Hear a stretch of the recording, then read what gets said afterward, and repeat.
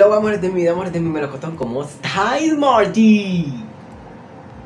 Bueno ya, Marty, en el día de hoy te vengo como que a traer como que... Espérate, me estoy yendo.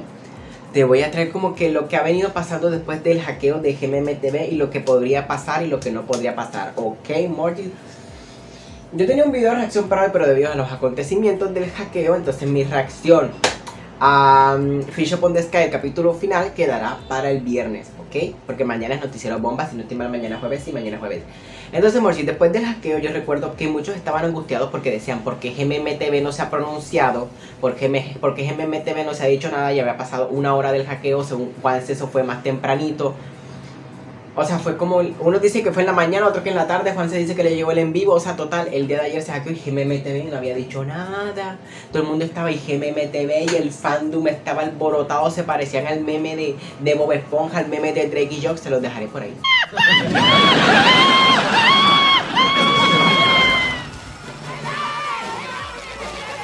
es que Juan y yo ayer quedamos hablando como que hasta tardecito y prácticamente dijimos, es que los fans tailandeses no le, como que, ok, se asustan y todo, pero no como que,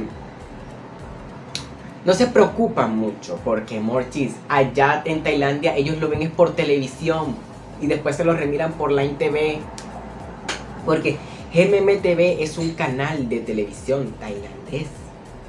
Es como si, un ejemplo, ARCN aquí en Colombia, o un canal aquí en Colombia de televisión, les hackearan el canal de YouTube. A ellos como que, ok, me preocupo, pero es que mi fuerte no es YouTube, mi fuerte es la televisión. Recordemos que GMMTV la única manera de que, de que utilice su canal de YouTube es para subir entrevistas, live, cosas X que resuben después de que las ven por televisión, la mayoría.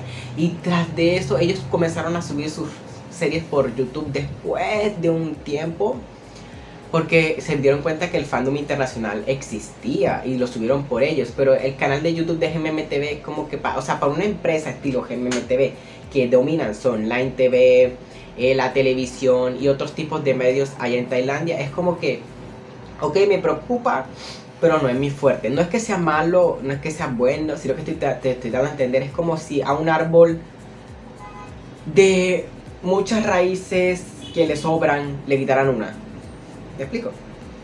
Entonces sí preocupa y después de un tiempo eh, mandaron un comunicado que ya están como que resolviendo las cosas y me da risa porque lo mandaron como dos horas después y todo el mundo, pero marica, me vería algo porque es, es que el único fandom que está preocupado es el fandom internacional. Porque si ponte tú no recuperan esa mierda, ¿cómo quedamos nosotras? ¿Cómo quedamos? O sea, quedamos sin serie.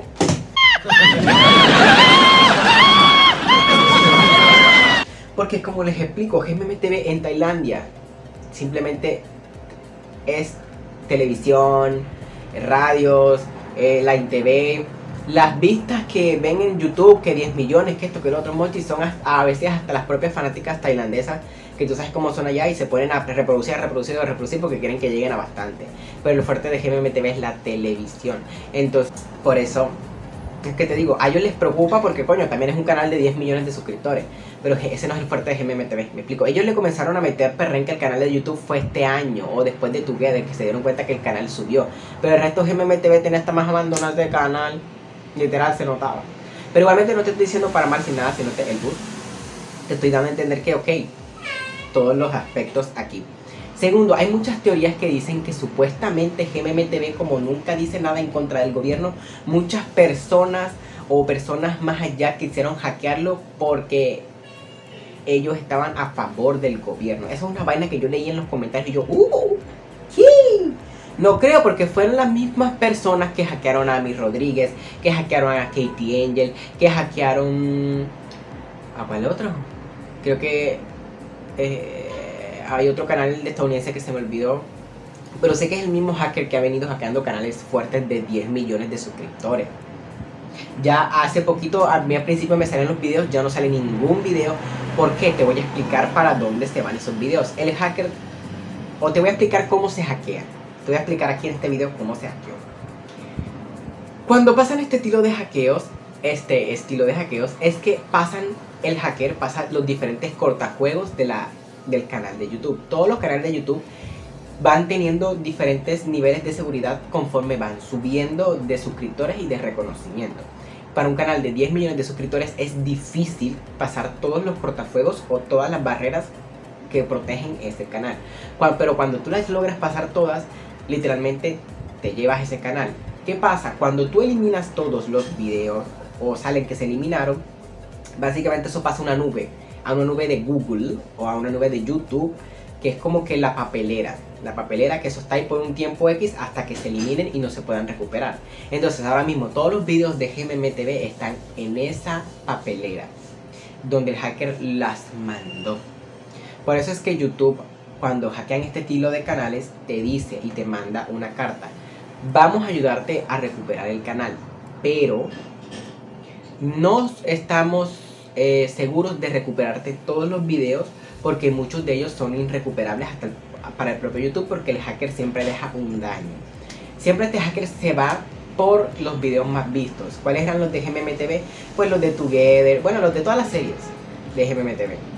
Entonces, después de que recuperen el canal, porque es obvio que lo van a recuperar, recordemos que YouTube está en un tiempo donde está batallando con TikTok y no le funciona que un canal de YouTube grande se vaya, como estilo GMMTV, que tiene más de 11 millones de suscriptores. Entonces, ¿qué van a hacer ellos?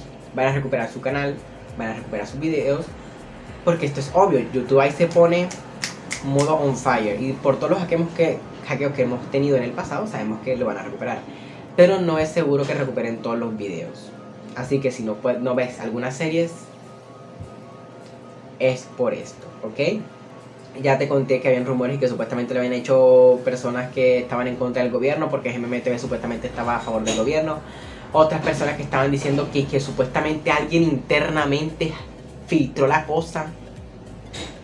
Y yo fuere y fuere, que se está, se metieron a mi casa. No.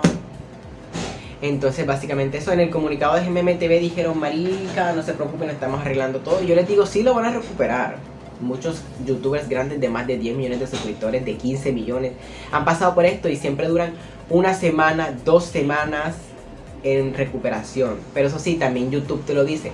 Muy probablemente también no podamos recuperar tu canal. ¿Por qué? Porque a veces el hacker ya lo obtiene para él.